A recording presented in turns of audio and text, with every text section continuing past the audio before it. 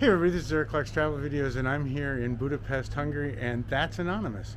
Anonymus is a statue um, and I think I was here 10 or 12 years ago and saw it for the first time and I thought it was amazing. I've come back a couple of times and seen it since and it is, uh, it's really wonderful. I've seen miniatures of it too in other places, other countries, but it, uh, it's pretty slick stuff. Let's take a look. And I don't know why it's so impressive, but for me it's just, uh, it's really cool. I don't know Good, the kids are clearing out.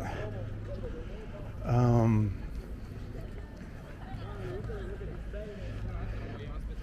it's just anonymous. Glorious. I don't know what it says down there, but it looks like he's. Uh, what's he holding? Oh, he's holding his pen. Cool. Huh.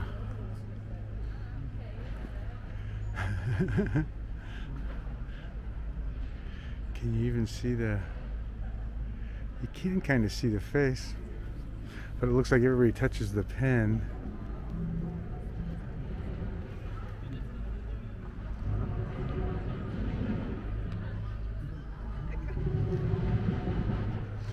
Cool. So I guess we'll touch his pen.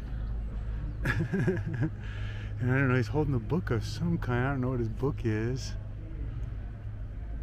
Huh. Pretty amazing stuff though, huh?